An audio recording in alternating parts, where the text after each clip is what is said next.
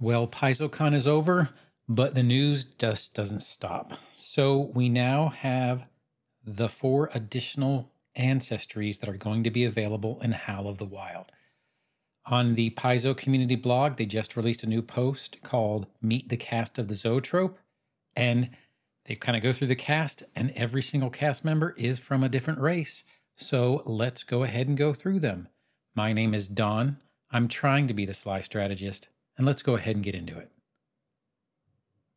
With Howl of the Wild, in addition to the monsters and wilderness inspired items and feats and a bunch of other stuff, it comes with six new playable ancestries. And each one of these is represented by a member of the crew of the Zoetrope. So we're going to go ahead and go through them all. I'll go ahead and put the picture up and then we can talk about it as we go. The first one that we're going to go over is someone that we met before, Baranthet, who, the naturalist, who is kind of the captain, and he is an Iruxi. He is the expedition leader who brings this crew together to travel across Golarion in his search for the four Wardens of the Wild. These four Wardens of the Wild are mythic creatures said to steward the great biomes of the planet. So the Iruxi are a lizard folk who will be getting a remaster in Player Core 2. Then we go on to Chariclea, the scribe, the Minotaur. Now, she is the one, if you remember, who does the Darwin-esque type drawings of the creatures. So if we see drawings like that, it will be coming from her. She is from the Earth Song people on the Isle of Kortos. She's the research assistant to Barenthet.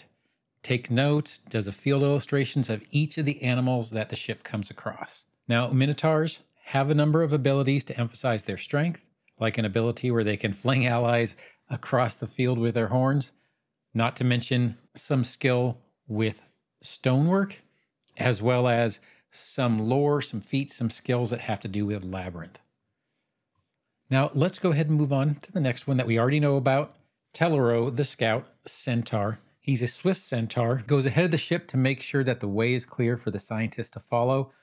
Very capable, if a little hot headed. This was mentioned kind of a little bit in the ancestry that they previewed, but eager to prove himself in addition to their speed, centaurs also have feats related to herbalism or archery, and this specifically mentions the skill that Telero puts to good use with a number of signal arrows.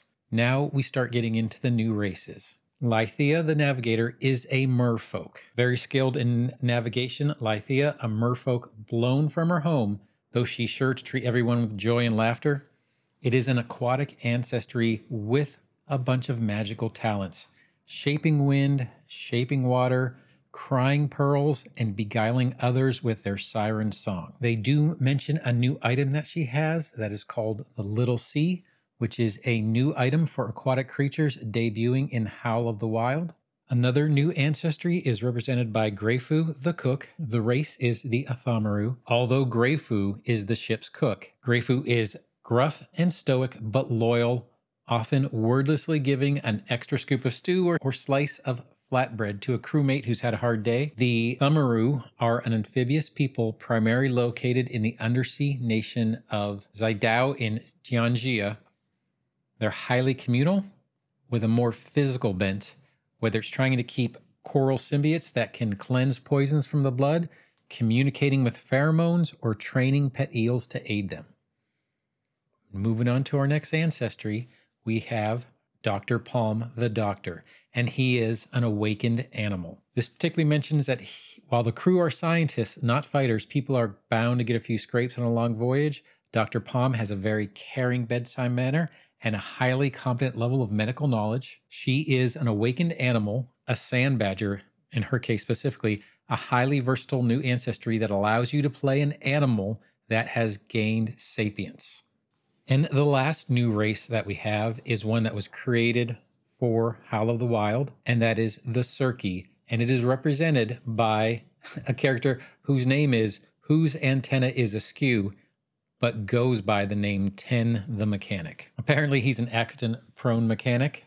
There's Surki, a brand new ancestry designed from the ground up for Howl of the Wild. Surkis are subterranean people who burrow to Golarion surface only in periodic generational digs the most recent of which was triggered by the closing of the World Wound. Surkis ambiently absorb magic, metamorphosizing later in life with unique adaptations based on what they've absorbed. And this particular race is excited to experience every new thing that they can on the surface, though sometimes that leads them into trouble.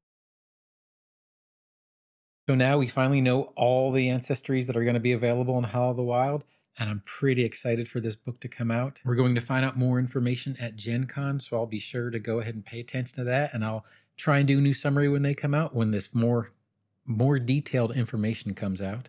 Fantastic news and a little bit more information about the new ancestries that are coming out in Howl of the Wild.